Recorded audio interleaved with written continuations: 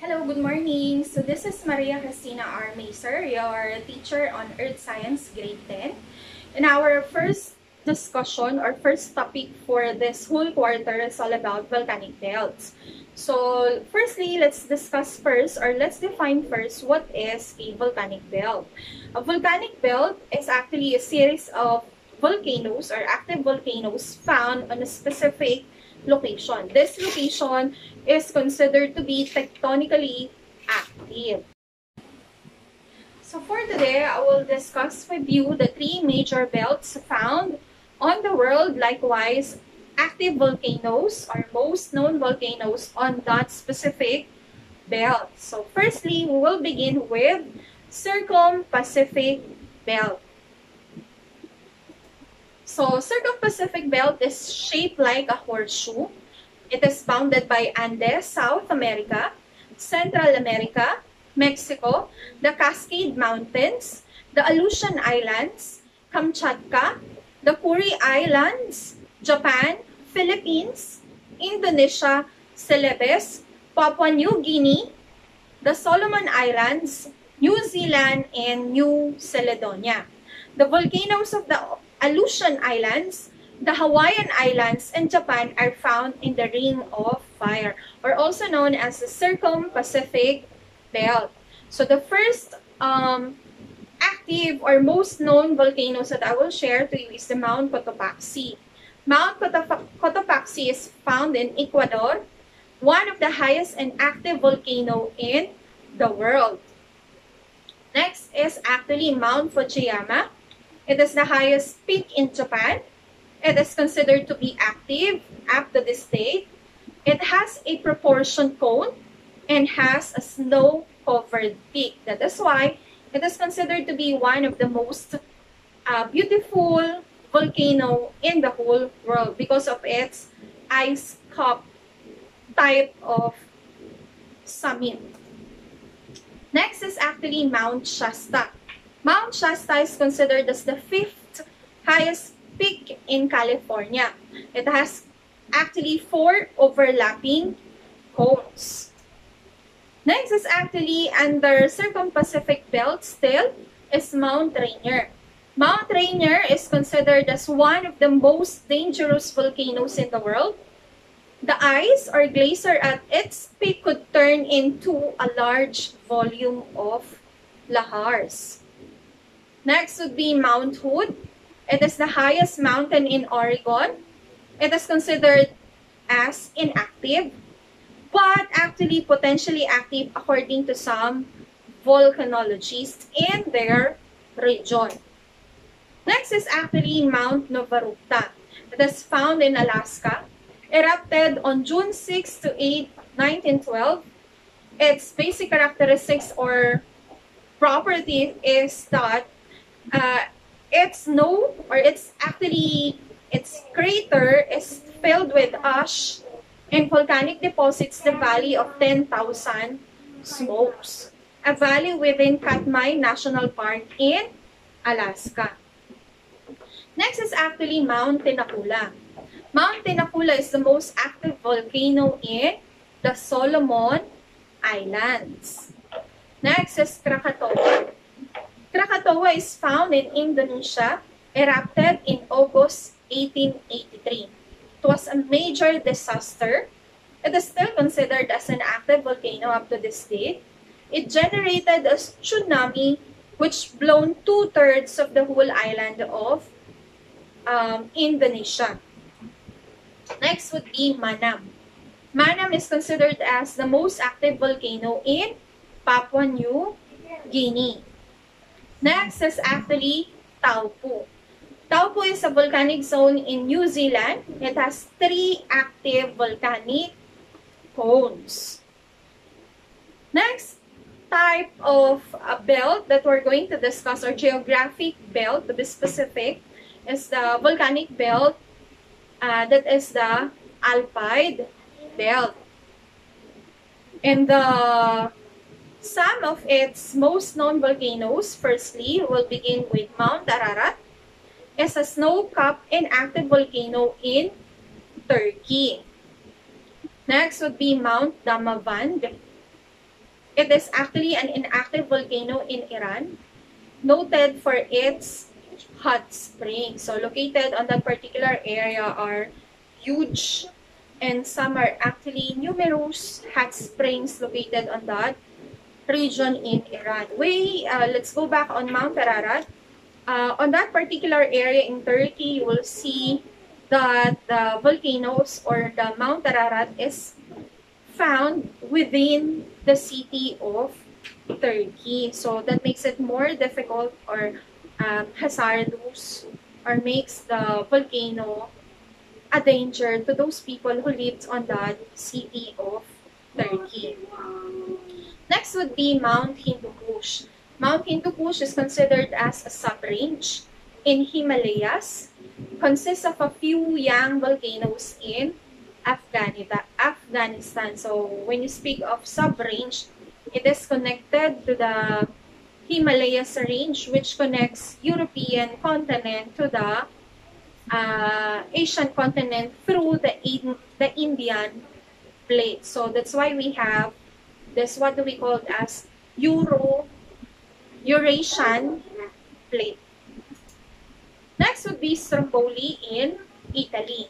It is found in Sicily and is known for its frequent eruptions for the past 2,000 years. So up to this date, it uh, emits um, tephra, ashes, and ash cloud, which makes it one of the active volcanoes, volcanoes in the region.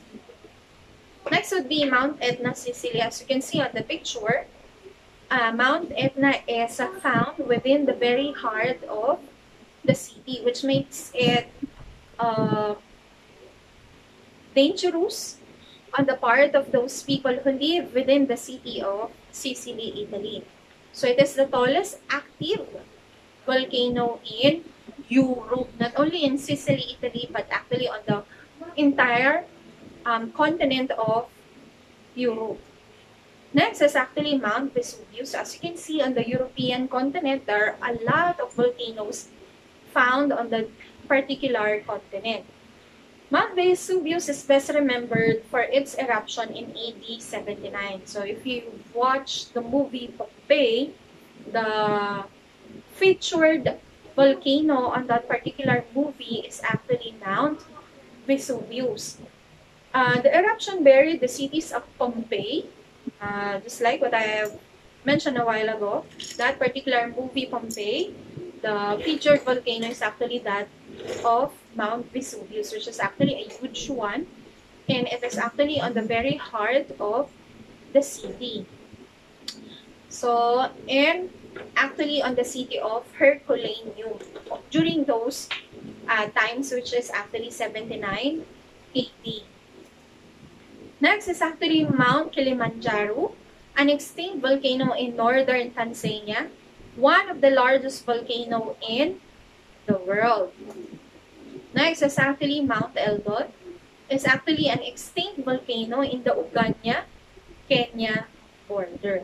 It is the oldest and largest solitary volcanic mountain in East Africa. Next is actually the Virunga Mountains. Consists of a range of eight major volcanoes or overlapping volcanoes. But these actually volcanoes are actually dormant. So those overlapping volcanoes do not erupt at all, but releases magma from time to time. Found in Central East Africa. So as you can see on the picture of the Virunga Mountains, it emits uh, smoke or gas, which indicates that the magma is near to its vent.